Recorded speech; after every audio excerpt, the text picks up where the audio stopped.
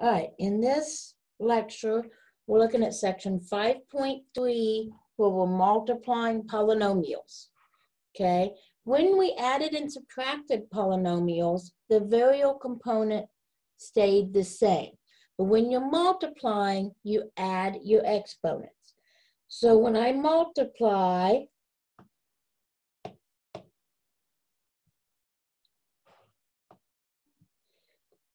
two x squared times x squared plus 3x plus 5, I'm taking the 2x squared times each term in the parenthesis.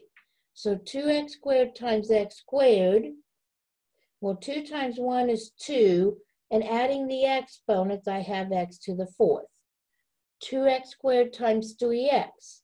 2 times 3 is 6. X squared times x is x cubed.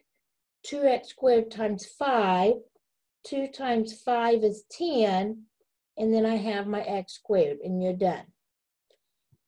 Sometimes, instead of that monomial term being at the front of the parentheses, it can be here at the end, and that's still okay.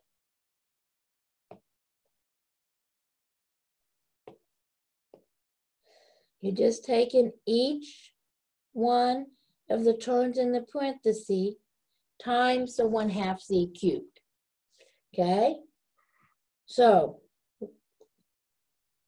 1 half times 4 thirds would be 2 thirds.